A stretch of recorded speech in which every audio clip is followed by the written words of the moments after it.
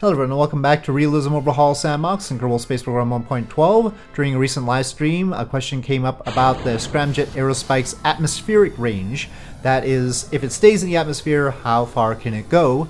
And so I decided to test that. Uh, we have no liquid oxygen loaded, so we can't use the aerospikes in order to get to orbit. Uh, that does not mean that I can remove the aerospikes because the whole thing is balanced with the aerospikes on the tail and they are very very heavy. So we can't just take them off. So we have to carry them along but at least we are not carrying the oxygen which is more than 100 tons. And so the scramjet aerospike can climb very efficiently and it can also get to a faster speed on its initial scramjet mode which is much more efficient than the high power scramjet mode that we used to push beyond Mach 10 previously. So here we are activating the scramjet after climbing very, very vigorously. And it takes some management though. We don't want to overheat it, but it is accelerating past Mach 5. Uh, the scramjet aerospike does have turbojets in order to get off the runway, and then it switches to ramjet mode. And basically, its uh, turbojet ramjets are modeled after the Sabre engines for Skylon, and then it has the scramjet that activates at Mach 5 and brings us, in this case without the oxygen load, well past Mach 10, but uh, basically it tops out at just under Mach 11. And I decided to go across the Atlantic from Cape Canaveral and see where it ended up. This question came about as far as comparing this system to the Dark Star from Microsoft Flight Sim. The Dark Star is much smaller, it's much lighter, but it only carries one person as far as I know, uh, maybe some other payload, but uh, we have a number of Kerbals inside, and it probably has space for about eight, and maybe some payload. Now, of course, if we actually carried some payload, that might affect our performance, but here we are cruising across the Atlantic very quickly at nearly Mach 11, and I have a cockpit here, and we have all that information in front of us. But yeah, so the Dark Star in Microsoft Flight Sim goes about 5,000 nautical miles. I tested it, and it goes at Mach 10. Uh, this is not directly based on the Dark Star in any way. I have another Dark Star for Kerbal Space Program that I had made, uh, but as it turns out, its range is pretty much the same, weirdly enough. I mean, the fuel quantity is based on the fuel quantity that we needed to get to orbit, not for this purpose at all.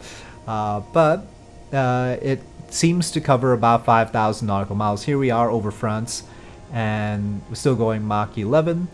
And so our top speed is about the same. There is a high power scramjet mode, but it's not fuel efficient at all. So it wouldn't be a good idea to use it for a range test. And here I I started descending because it takes a while to descend with this. It takes a while to turn at Mach 11 as well. So we start descending and we end up landing in the vicinity of Bulgaria. Uh, it's not entirely clear whether we were in Romania or Bulgaria, but somewhere around there. I was trying to go for Athens, but I didn't quite get there. Slowing down with this is not necessarily an easy task, though it turned out to be fairly smooth, but with Darkstar in Kerbal Space Program, my version of it, Darkstar had some adverse effects when slowing down. Uh, this seems a little bit nicer on the whole. Even in Flight Sim, I think Dark Star is a little bit finicky sometimes when you're slowing down, and you have to be careful with it. Now, the Dark Star in Microsoft Flight Sim gets up to Mach 3.7 before activating the scramjet. Uh, it doesn't, I think, have a ramjet mode. Uh, it just has really souped up SR-71 engines. Uh, but in this case, we did have the ramjet and could get to Mach 5. I think that's probably more realistic. I don't think the scramjets work very well at Mach 3.7. The benefit to the Mach 3.7 level for Flight Sim is that uh, the Dark Star is actually pretty good at Mach 3.7 at altitude, so you could extend your range at that speed even if you're not going Mach, uh, Mach 10. And the Mach 10 fuel is separate from the Mach 3.7 fuel in Flight Sim. In this case, with the Scramjet Aerospike, it's the same fuel, it's just liquid hydrogen all the way. That probably means that this plane should be more efficient in its jet ramjet mode. than the Dark Star would be because the Dark Star is using probably some variant of kerosene. Anyway, here we are coming back down, and I managed to keep it safe, but we're not aimed for any runway or anything. Uh, nice sort of mist and sun in the background. I tried to make sure that we weren't landing it at nighttime, so we curved to the south quite a lot. And here's touchdown. I was trying to make sure that the body flap did not get hurt here. So uh, that's why I'm at this camera angle to check out the body flap and make sure it's alright. And then we slow down. Unfortunately, even though I scooched the landing gear back after a previous test, it still seemed to rear up.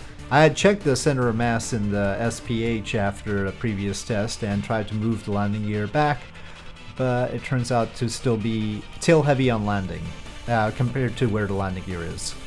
So yeah, I'll have to readjust that. Interesting silhouette as I wrap it up here with the Scramjet Aerospike having covered 5,000 nautical miles in the atmosphere. Thank you for watching, hope you enjoyed this video. If you did, please do press like. If you have any comments or suggestions, please leave them in the comment section below, and I'll see you next time.